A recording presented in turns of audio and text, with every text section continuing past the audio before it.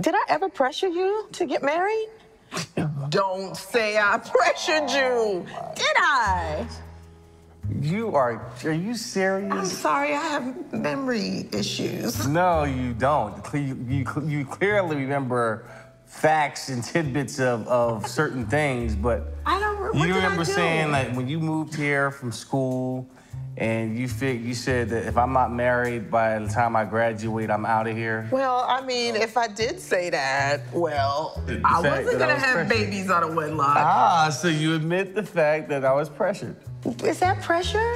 I wasn't pressured. I, I Was that pressure? Hold on, don't try to flip it on me. Oh, oh. It wasn't pressure. So- I did it because I wanted to, but you So left me with pressure? ul- you left me with an ultimatum.